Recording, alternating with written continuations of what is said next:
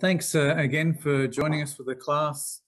Uh, I guess this is the third one for this uh, this second sort of round, and uh, we're we're going today to look at uh, the end of Revelation chapter six. Um, so basically, the content of today's class, we're going to do a little a short section um, called a clue to women and you'll notice that throughout this series, there have been little breakout sessions on different clues to the book of Revelation, and this certainly is one of them. And then we're going to um, look at the sixth seal. The sixth seal, um, we, we covered the first five last week, and this week we looked at we're going to look at the sixth.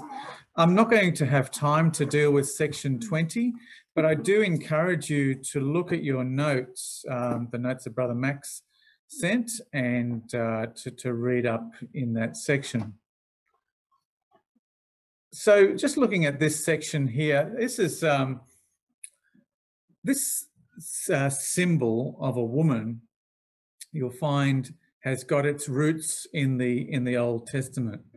Um, when I when I first came into the truth, I remember Brother Keith Jamison told me a simple truth, and he said this. He said, "The Book of Revelation is the story about a woman.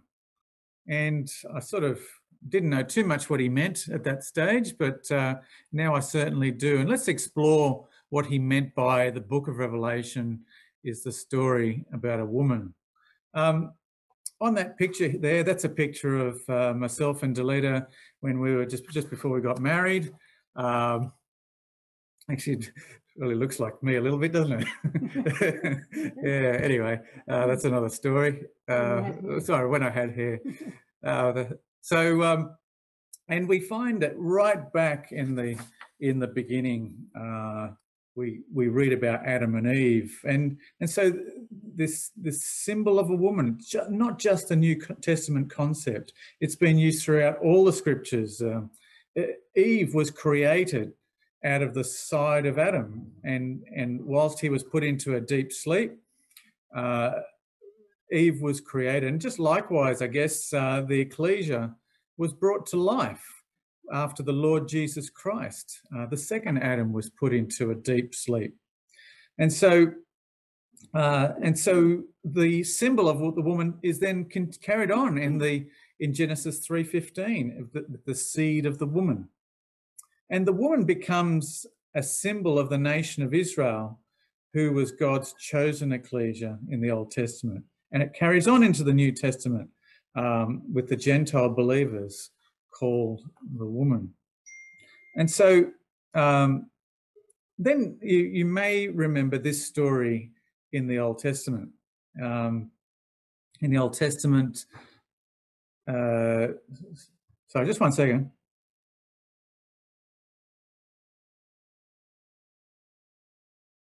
Yes, sorry about that. Yeah, so so you'll find that uh, this there's a story that's told in Ezekiel chapter 16. Actually, we might just turn there for the moment. We're not going to read the the words of Ezekiel uh, 16, but just turn to there just to to get yourself glancing over the passage uh, in Ezekiel chapter 16.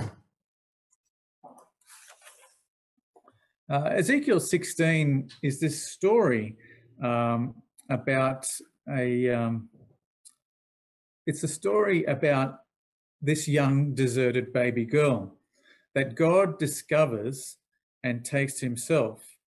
And it says uh, in verse, uh, it, it says, verse 3, it says, Thus says the Lord Yahweh to Jerusalem, Your birth and your nativity are from the land of Canaan. Your father was an Amorite, your mother a Hittite. As for your nativity, on the day you were born, your navel cord was not cut, nor were you washed in water to cleanse you, nor were you rubbed with salt, nor swathed in swaddling cloths. No eye pitied you to do any of these things for you, to have compassion on you, but you were thrown out into the open field. And this this baby was dying, was was was was deserted, and and the story goes that God took this baby girl and he uh, and he clothed the baby. He nourished the child. And then as the child grew, he looked after her and gave her uh, many gifts. And this child grew up to be a beautiful woman. And, um, you know, she, she was so beautiful that she became famous internationally, even. But her fame and, uh, and her beauty uh, got to her head. This is what it says. Uh, this is what it says here. It says, "I made you thrive like a plant in the field, and you grew, matured, and became very beautiful. Yes, I swore an oath to you and entered into a covenant with you, and you became mine," says the Lord Yahweh. I washed you in water. Yes, I thoroughly washed off your blood. I anointed you with oil. I clothed you in embroidered cloth. And actually, what does that remind you there? Doesn't that remind you of when uh, we were baptized and entered, God entered into a covenant with us? Um, and didn't he clothe us with righteousness, um, if you like, in that in that symbol? But unfortunately, so I was going to say this: what this what this uh, little girl, uh, this girl represented, this woman who grew up uh, afterwards was this represented Israel, the nation of Israel, and uh, and it, and, and it really encompassed the story of Israel. But sadly, this woman grew up to become a harlot, and it says in Ezekiel 16, "You trusted in your own beauty, you played the harlot because of your fame, and poured out harlotry." On everyone passing by who would have it. And so Israel worshipped idols. She sacrificed her sons and daughters uh, and became very unfaithful to the one who kindly brought her up. In Ezekiel 23 um, is a, a, little another sort of play on this story. It's the story of Ahola and Aholibah, and and what this this is a story about two harlot sisters, and these two women are representative of Samaria, um, which is the capital of Israel, and Jerusalem, which is the capital of Judah. And so the symbol of a harlot therefore represents an unfaithful ecclesia um, who has corrupted the worship of God. And I guess, in, and, and so in the New Testament, we wouldn't expect the symbol to be any different. Um, the book of Revelation speaks about a time when the Lamb uh, Jesus Christ is going to take the bride to himself. In Revelation 19, um, oh, sorry, I'll just go to the next. Uh, sorry, I'll just read that. Sorry, let me read that quote there. It says, For I've betrothed you to one husband that I may present you as a chaste virgin to Christ. And that's what the Apostle Paul said to the ecclesia in Corinth. But he also warned them and said, He said, But I fear lest somehow as the serpent deceived Eve by his craftiness, so your minds may be corrupted from the simplicity that is in Christ. And so in Revelation 19, this theme of a bride for Christ continues, but in chapter 19, it's it's sort of like the end of the story. It's uh, we we find that um, we find it speaks about a time when there is the marriage of the Lamb. Uh, and it reads like this it says, Let us be glad and rejoice, for the marriage of the Lamb has come, and his wife has made herself ready. And so, uh, and, and this is the time when the Lord Jesus Christ returns to the earth and he will unite with his faithful bride. Um, he will invite her to conquer the nations. He will allow her to rule the earth with him. And in contrast to that, in the book of Revelation, um, we read about a, um, a woman who does become corrupt. And, and here's, a, here's a slide uh, we show in, the, in our seminars.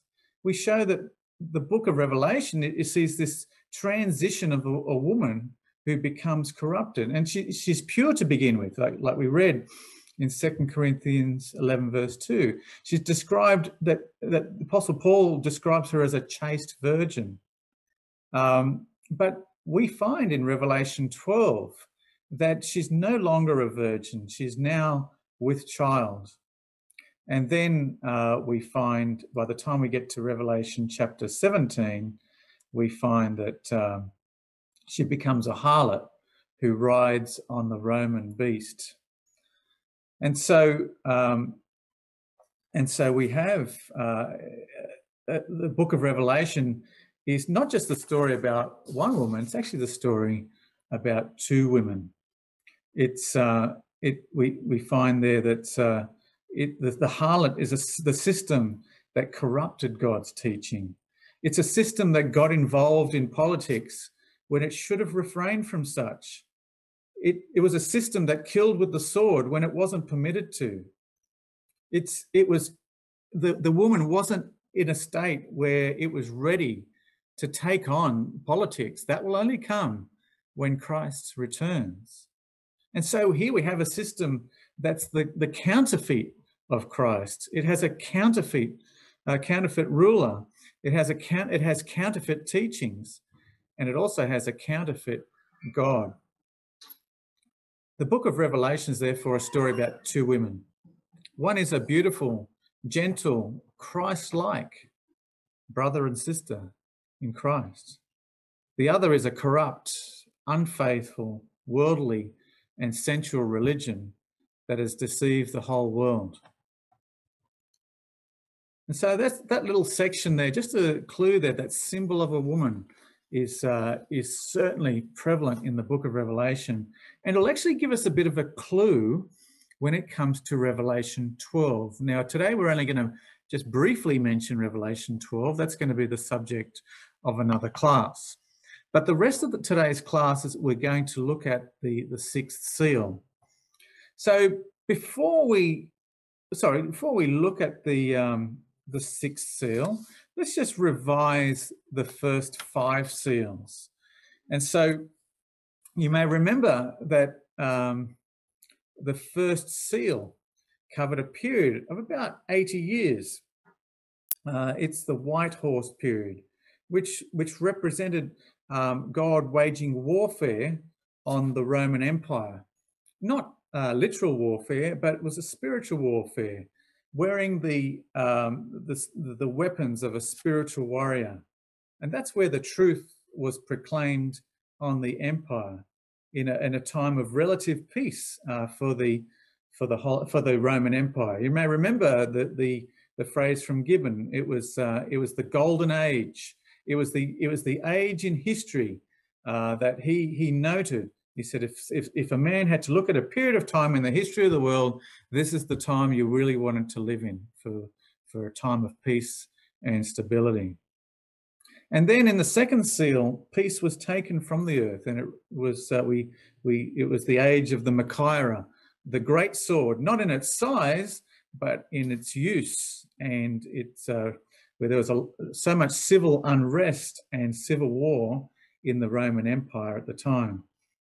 The third seal was the uh, was the the black horse seal, and that was a time when there would be heavy taxes uh, put on by the Roman administration, which led to fuel, uh, sorry, fuel shortages, food shortages and, uh, and depression. And then the fourth seal was that pale chloritic green horse, the color which someone who is about to die turns often. And, and so this was the, this brought about the near death of the Roman Empire. Uh, it was a time where, where death was prevalent. In fact, 39 emperors were killed. And there was an epidemic also at that time, which killed up to 5,000 people per day just in the city of Rome. And, and, and we also had the barbarian tribes starting to uh, make inroads on the borders of the empire. And then we read about the fifth seal. And that was the time of severe persecution of Christians under the reign of the Emperor Diocletian. Um, the the, the uh, emperors Galerius and, and, and Maximum, who were co-emperors in the empire at the time, they severely persecuted Christians in their jurisdictions of the empire. And the believers prayed, how long for deliverance? And now we come to the sixth seal. Um, and so, so just to to summarize here, uh, just to reinforce this this thing about the earthquakes, because in the sixth seal we're going to read about the first great earthquake, um, and uh, and so what we have here, just to establish that foundation, these this is the, the, the three great earthquakes are like three foundation pegs you just cannot move in the book of Revelation. They represent three great events, earth-shattering events that happened uh, that in or will happen in the Roman Empire. The first one is happening in AD 324. We're going to read about that shortly.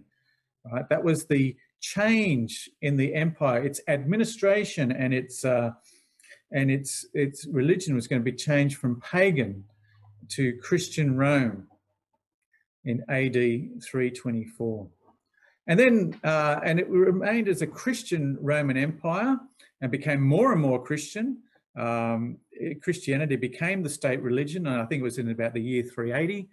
Uh, and it remained like that until the French Revolution. In the French Revolution, things changed dramatically, not just for the not just for Europe, but for the whole world.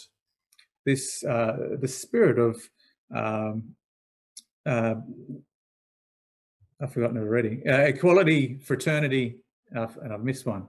Uh, liberty, liberty, equality, and fraternity. The three frog-like spirits come out of the French Revolution and have actually pervaded the whole world with those teachings.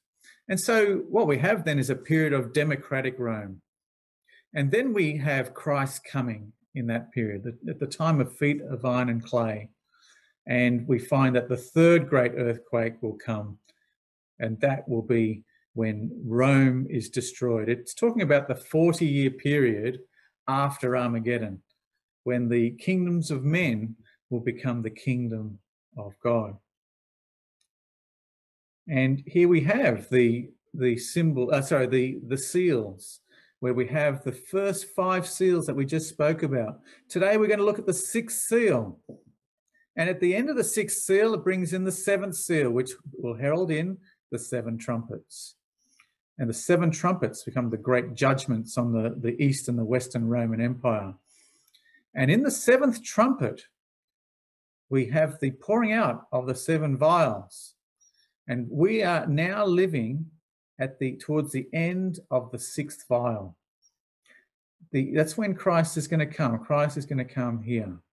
So we have a period of time period from AD 96. Um, the first uh, earthquake is going to occur in 324. That's when the that's when the sixth seal ends and brings in the seventh seal. And then we have the the uh, the, the seventh trumpet sounds in the year 1789 when there was the next great earthquake. And then we'll have Christ coming at the final earthquake. So hopefully that all sort of makes sense. So what we're looking for today is a period of time leading up to 324 AD. And on that note, I'm going to ask Brother Michael if he could please read uh, Revelation chapter uh, 6, verses 12 to 17. So Revelation 6, verses 12 to 17.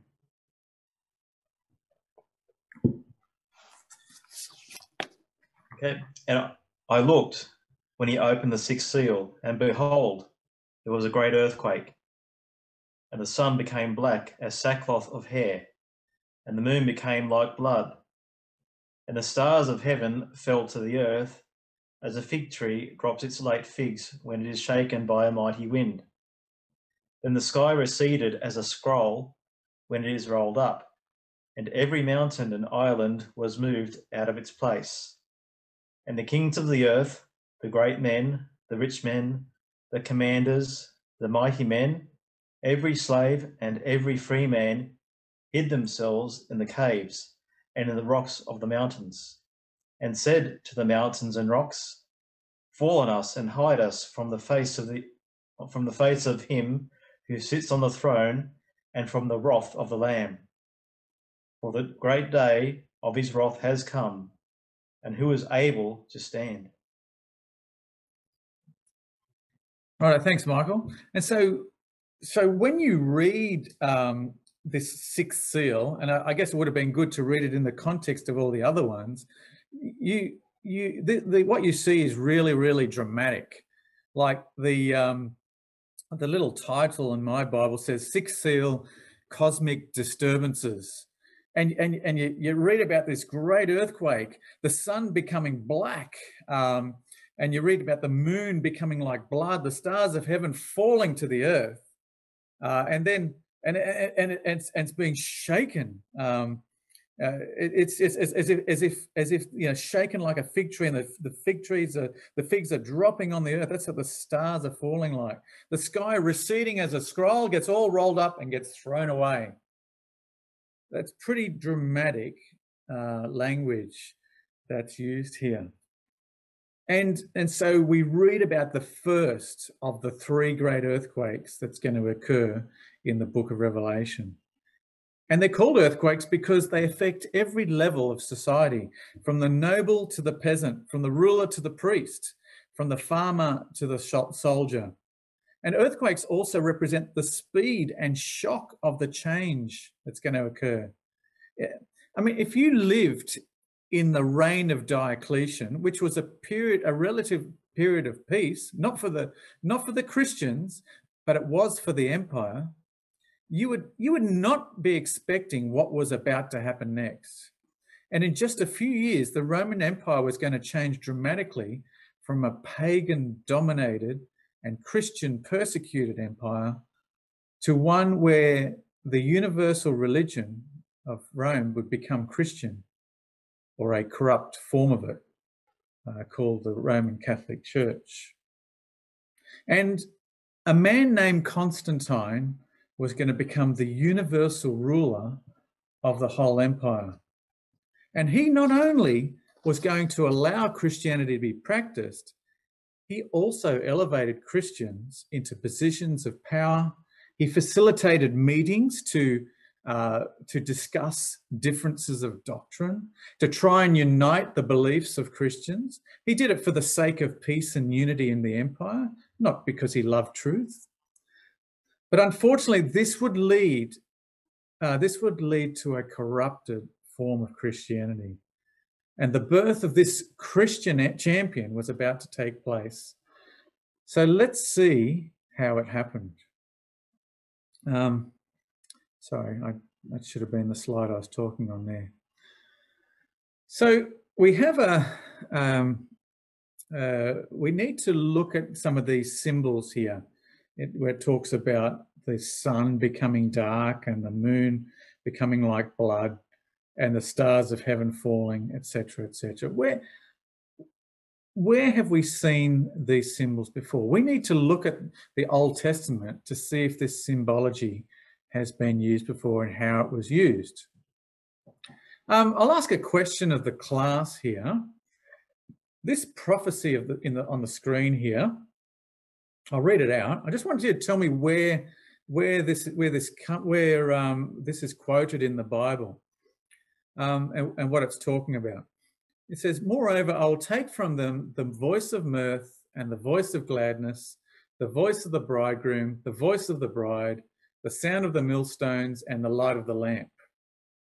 Where's that quoted in, in the Bible? Which book, at least? Would anyone like to take a guess? Delita told me the right answer. It's because we talked about this the other day. Yeah, I've forgotten that. I don't think this is right, but to me it feels a oh, bit. Oh, sorry, I got the volume turned down. Sorry, um, I'm just going to turn it up again. So, what was your what was your answer there? Uh, my answer was that I don't think it's right, but it feels a bit like Lamentations to me. Not oh, it's it, it, you'd be forgiven for thinking so, but not quite, not quite Lamentations, but written by the same author. How about that? Jeremiah. Yes, that's Jeremiah. Now, if, by the way, if I have my TV running in the background, do you, are you getting an echo from me? That's okay oh, for us. Okay, tell me if it becomes a problem. We'll we'll keep the volume turned up. So, um, so here we, this is, this is actually a quote from Jeremiah, um, chapter 25. And, and uh, I was hoping that you would actually say it was from Revelation chapter 18, because it almost sounds exactly the same. In Revelation 18, it uses that term, the sound of a millstone shall not be heard in you anymore. The light of a lamp shall not shine in you anymore. The voice of the bridegroom and bride shall not be heard in you anymore. See, the first one um, was talking, was describing Jerusalem. All right, Jeremiah, or God uh, telling, sorry, God telling Jeremiah what would happen to the city of Jerusalem. The second one on the bottom of your screen is God telling John what would happen to Rome, or in fact, the, uh, the Roman Catholic Church. And so we have very, very similar um, prophecies here. And so you can see the Old Testament and the New Testament link together. So when we see things like this, where there's, uh, sorry, the, the text is a little bit small here, where it says the sun became black as sackcloth of hair. Well, that's actually quoted in Isaiah 13 about Babylon itself. Um, it's also mentioned in Joel um, and Matthew 24 about Judah, the nation of Judah. The moon became as blood. Well, that's, that's quoted in Joel about Judah. The stars of heaven falling to the earth. That's about Edom in Isaiah 34, and so on and so on. And you see these these words, they, they, they hid themselves in the dens and the rocks of the mountains and said to the, the mountains and the rocks, fall on us. And so these are quotes from the Old Testament about what would happen to the nations. And so in the sixth seal, we read about the sun being eclipsed, the stars falling, the moon becoming like blood. And um, so this great earthquake would be a political upheaval in the Roman world. And as a result, the sun would be eclipsed. Well, that's the, the emperors, the ones who the, who are the greater lights in the empire. It would be the end of, of the pagan Roman emperors. The stars for falling. Well, the stars are the, are the uh, like we would use today, these are people who shine in government. They're the administrators of the Roman Empire. The, that would be represent the fall of the pagan administration in the Roman Empire. And then the moon becoming like blood, well, that's talking about the death of the religious system, the pagan religious authority, because the moon gets its reflection off the sun. And so it was the it was the uh, pagan religious authority would would would uh, would die in the uh, in the Roman Empire. Now, what we need to do is talk a little bit about history. It's all right me sort of telling you, you know, that in summary, but how did this all happen?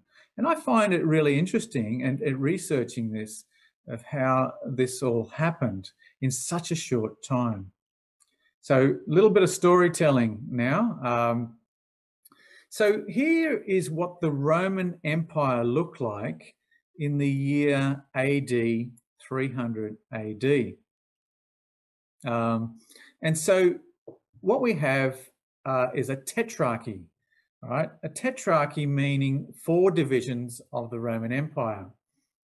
And this was Diocletian, the Emperor Diocletian's way of establishing a peaceful empire. And what he did was he divided the Roman Empire into East and West. And what he had was in the East, he set himself up as the Augustus. So Diocletian was the Augustus of the Eastern Roman Empire. He was like the, the Augustus was the supreme ruler. And what he would do is he would set up a, a, a maybe a younger apprentice uh, ruler, a, an apprentice emperor who was called the Caesar. And, and the one he appointed was this man, uh, Galerius. Now, on the western side of the empire, the Augustus, or the guy at the top, his name was Maximian. And another one of these Maxes, all right? There's going to be lots of Maxes mentioned today. Um, and and his apprentice, uh, or the, the, the second rank in the in the Western Roman Empire, would be Constantius. Now, Constantius is the father of Constantine. And so, um, and you might be able to see there, that's how the empire was divided up. Con- Constantius was over here. Um, it, if you like, that's sort of like the area of France uh, or Western Europe today. And he also had uh, great, he had also had Britain. Um, Maximian ruled the Italian peninsula and northern Africa and Spain. Galerius had this area, what was called Illyricum. So you could say it was the Balkans uh, and uh, what we'd know as Macedonia or Greece. And then uh, way over on the east was uh, Diocletian's part. So he had uh, Asia Minor, uh, Palestine, and Egypt. And so that's how the, the empire was divided at the time.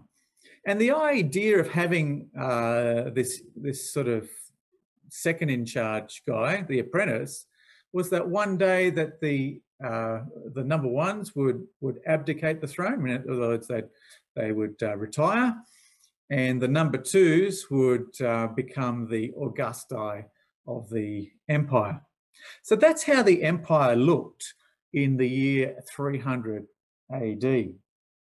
And then we move on. Um, we move on uh, to here to uh, a little bit six years later to 306 AD.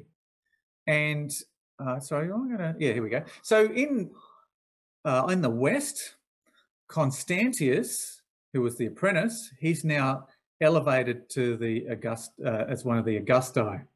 And number two is this other guy, Valerius Severus. Over in the east, we have promoted now Galerius with his um, number two is Maximinus. Now, this happened because uh, Diocletian, he went into early retirement and he abdicated, abdicated the throne. He gave up the throne. And that was actually the fir- that was a bit of a first in Roman Empire or Imperial Roman history because uh, Diocletian was the first Roman emperor to do this. Um, other emperors either died of natural causes or a lot of them were actually murdered. So this triggered the promotion of the number twos to the number ones. Um, it was expected, however, that Constantine, who was Constantius's son, would become the number two over in the West. And it was expected um, that this other guy, um, uh, Max, sorry, uh, sorry, i have gone off my notes. I've sort of lost. Uh, he, he, so Maximinus wasn't the guy who was expected to be number two either. Uh, and so, so we have a bit of a problem. He's sort of changing the rules a little bit. And so that was going to become, as it turned out, the beginning of the end of the Tetrarchy. And in the next few years, things changed dramatically. So in the year 306, Constantius, this guy here, um, he this Constantius died. And as a dying wish, Constantius declared his son Constantine as with the higher title of Augustus. I mean, he wasn't even on the list. Yet, as he was dying, he said, My son, Constantine, he's going to be the Augustus of the Western Roman Empire. And that that little uh, dying wish was uh, supported by the army, uh, um, and, and it was also supported by Gaul, which is France, and Britain. But the trouble was, when Constantine sent a notice over to Galerius in the east to say, listen, I'm the new Augustus of the Western Roman Empire, Galerius was furious. And, and uh, he wrote back and he said, uh uh he said, but I will accept your nomination as number two. And so Constantine, not wanting to be seen as a usurper, he um, he was uh, he accepted the position of number two there. And in the year 311, this fella Galerius died. Now, Galerius is famous or infamous for the guy who was the most instrumental in persecuting the Christians. Diocletian was influenced by this guy, Galerius, um, because Galerius was very much pro pagan and he hated the Christians. Um, and, and it was because of Galerius that Diocletian um, started this, this persecution. And so, uh, and, and this guy Galerius dies in the year 311. And Gibbon uh, describes his death uh, in these words. He says, his disease was occasioned by a very painful, lingering disorder. His body swelled by an intemperate, excuse the words, intemperate course of life to an unwieldy corpulence, was covered with ulcers, devoured by innumerable swarms of those insects who have given the name to a most loathsome, loathsome disease. And so Galerius died a horrible, horrible death. And some have seen that as Galerius' death as God's vengeance on the man who severely persecuted the Christians. And so now we have the scene set for Constantine to take over the Roman world. And this is what it looks like now um, in, uh, have I got, yeah, sorry, in the, in the year 312 AD. We've now got the scene for this great political earthquake to occur in the sixth seal. This is where the sixth seal starts. So what we have is Constantine as the ruler in the west or the far west. And so Maxentius now um, is the usurped the throne uh, in Rome. And Licinius, he's um, he he's the guy who was promoted by Galerius. Licinius now he is the uh, ruler here in uh, in Illyricum and, and Macedonia, and way over on the east you have Maximinus, the Augustus in the in the east. And so uh, what we have here, this is this is now setting the scene for this part. Now Constantine, what he's going to do he's going to take control over the whole of the Western Roman Empire. And so what he does is he moves with 40,000 of his men, that's about a quarter of his army. He crossed the Alps and descended onto the Italian peninsula. And Constantine's advisors told him not to go. They advised, said, look, don't do this. The gods are against you in doing this. Don't, don't do it. They cautioned him, but Constantine was determined to defeat Maxentius. And um, according to the church historian Eusebius, while Constantine was preparing to take Rome, he saw a vision of a cross in the sun. And with it, the words, en toto nika, it's in, and translated, in this sign, conquer. And at first, Con- Constantine was unsure um, what the meaning of that apparition was. But in the following night, according to Eusebius, right, it's all speculative here. It's, uh, this is uh, this is all according to Eusebius that Constantine had a dream in which Christ explained to him that he should use the sign against his enemies, which I guess we call it the sign of the cross. And so, um, and so Constantine had this symbol um, painted on the shields of his soldiers prior to the Battle of Milvian Bridge. And Eusebius says what he painted was the first two letters um, of Christ, of the Greek word Christos, which is that PX there on the bottom of your screen. Um, Oops, sorry. And so Milvian Bridge, this Battle of Milvian Bridge was a real turning point in the history of Rome. Milvian Bridge is is uh, is uh, a bridge that crosses the Tiber River. You can see there. It's just on the just on the outskirts of the city of Rome. This it was a huge and decisive battle in which Constantine defeated Maxentius, another Max.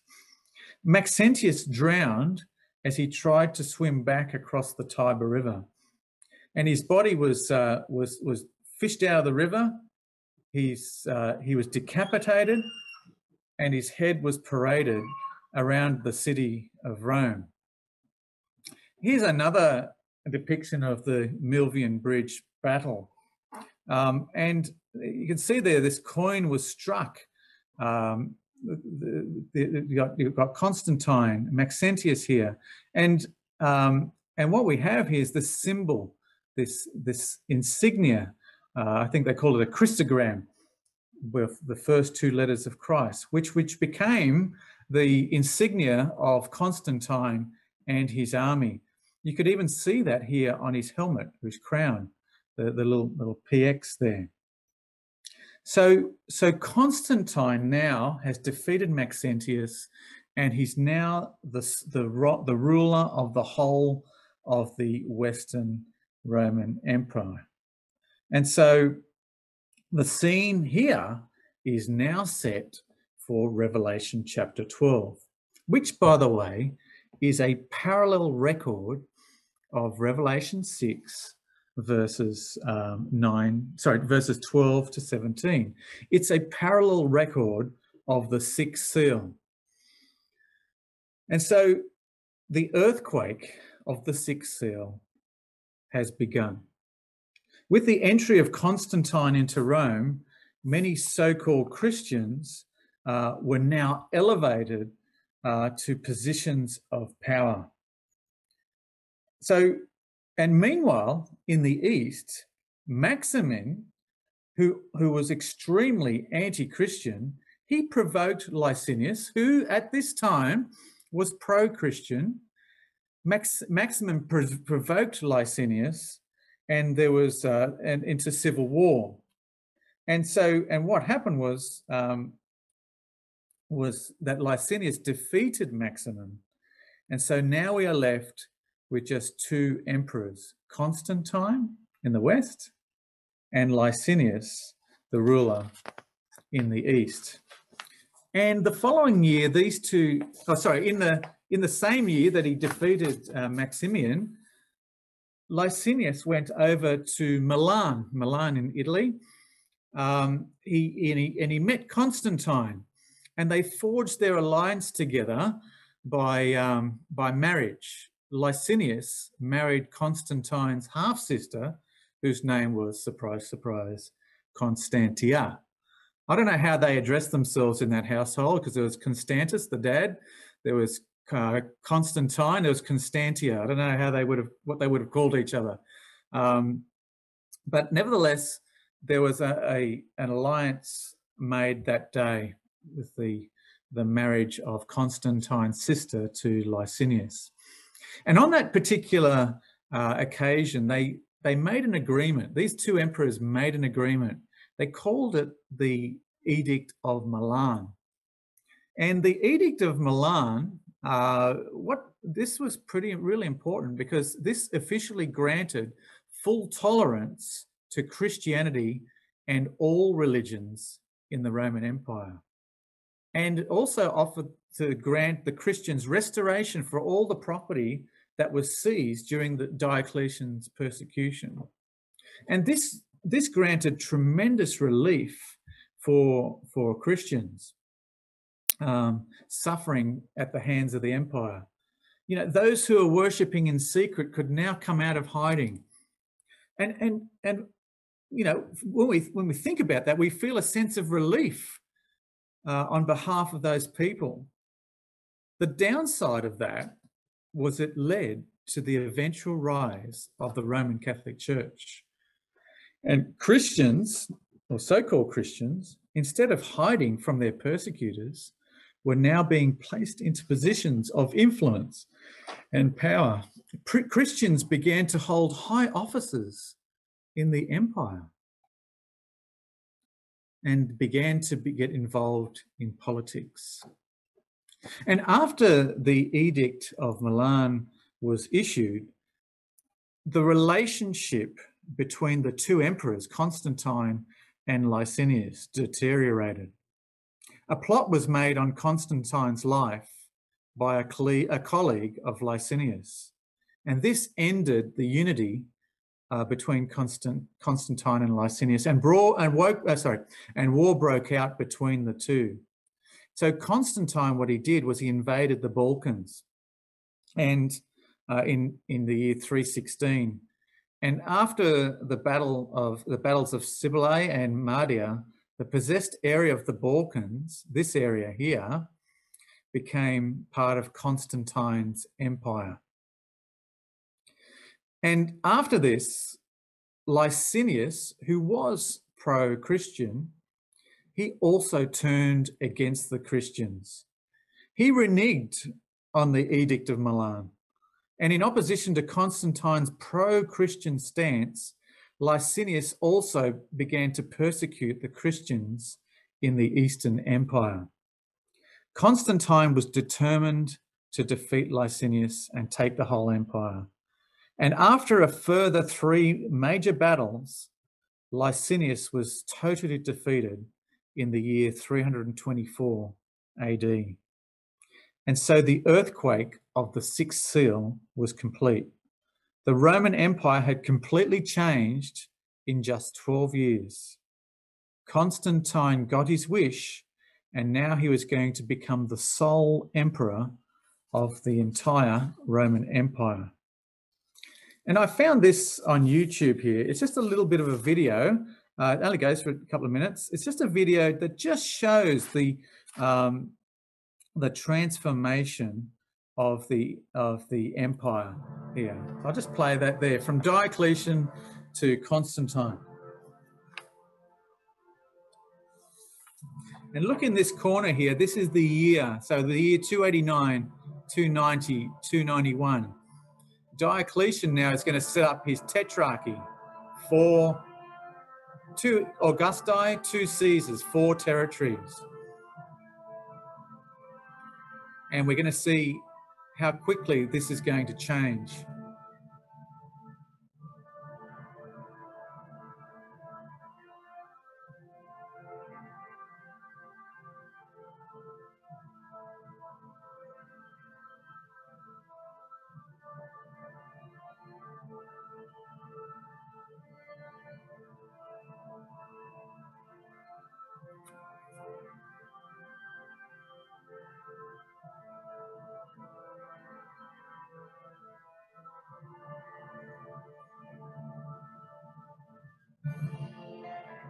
This is now where the uh, the sixth seal begins.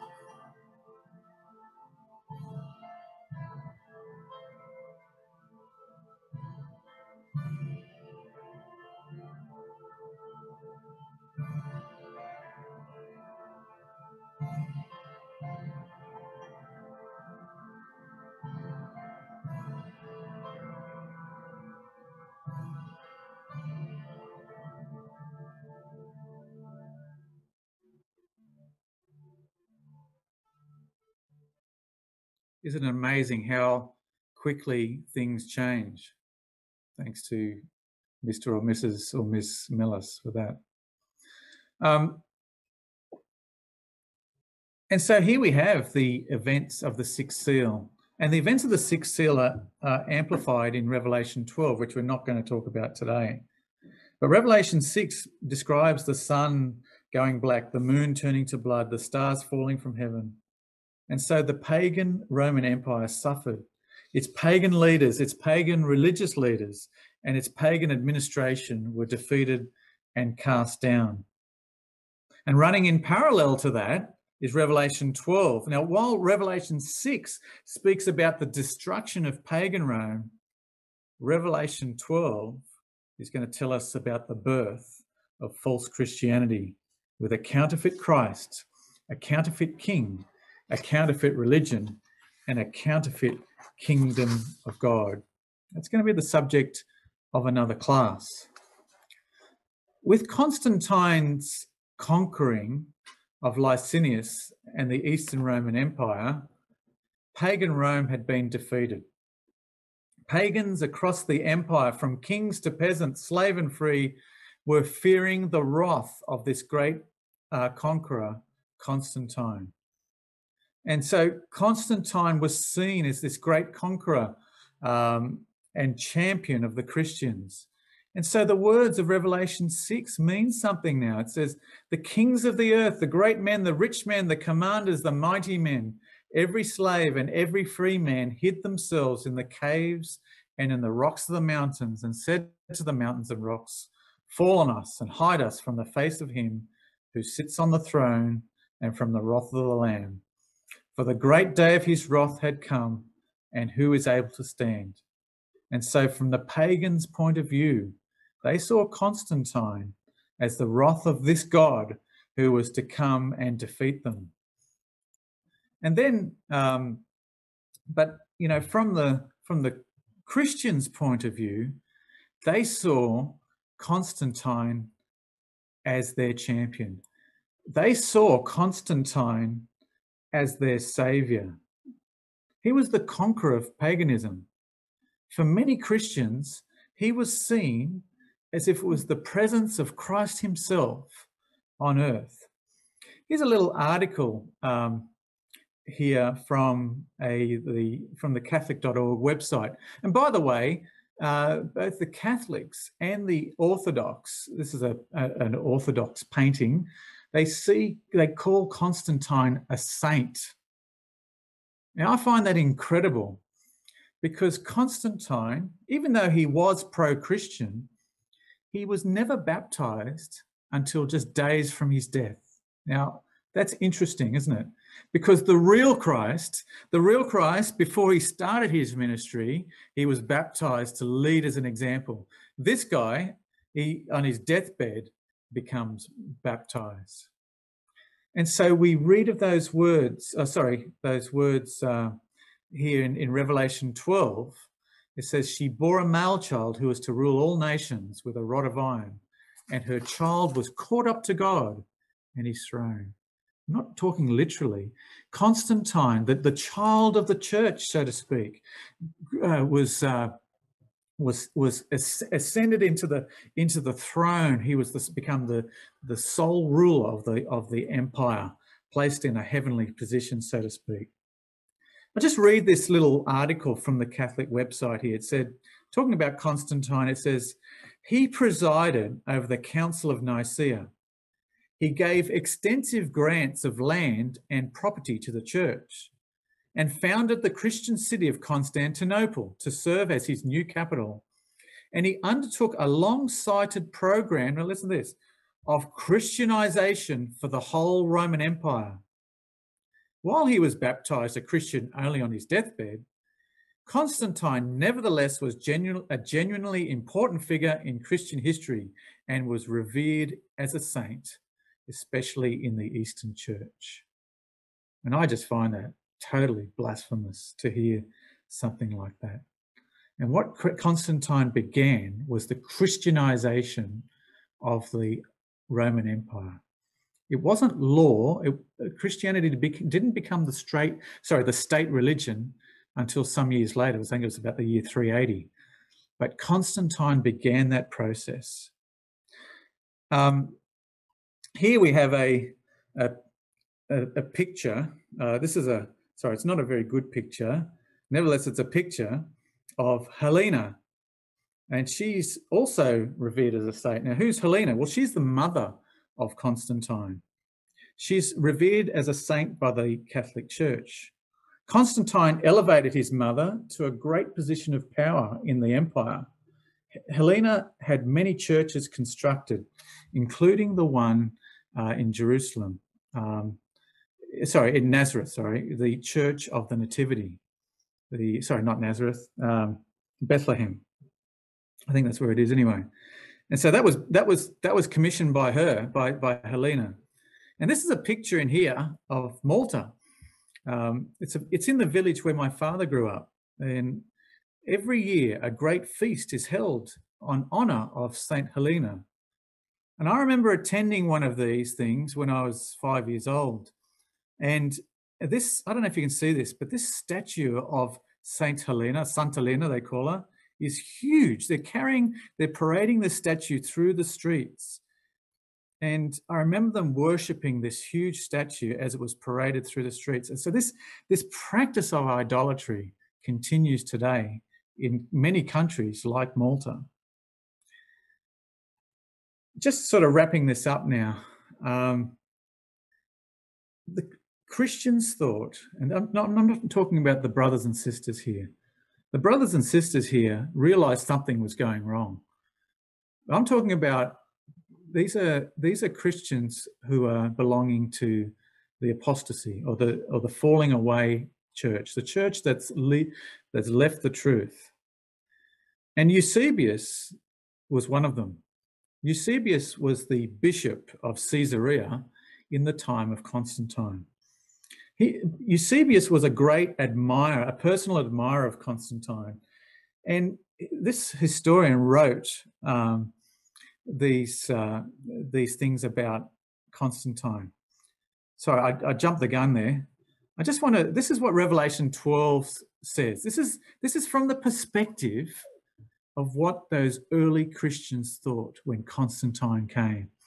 They said, Now salvation and strength and the kingdom of our God and the power of his Christ have come. For the accuser of our brethren, who accused them before our God day and night, has been cast down. They thought the kingdom of God had come. And this is what Eusebius says about Constantine. Look at it says. It says, And God himself, whom Constantine worshipped, has confirmed this truth by the clearest manifestations of his will, being present to aid him. God, you know, saying God aided Constantine.